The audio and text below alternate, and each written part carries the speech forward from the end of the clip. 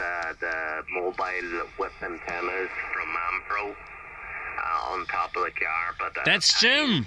Uh, we do uh, Mike, Italy up, zero. and we, uh, Alpha Delta uh, X-ray, sounding very good. co-phase them. First contact on the 17 meter band So uh, we know about the spider beam uh, and, and from my portable setup. uh, what you use at the. And this is what it's looking like right now, Jim. The sun is right behind me.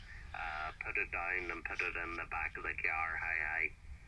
Gunter, I'm running uh, the FTDX 101 Delta. Uh, the output power here is about 300 watts. And the antenna's a mini.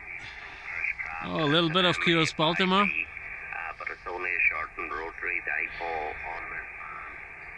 Your 7300 sounds excellent, Gunter.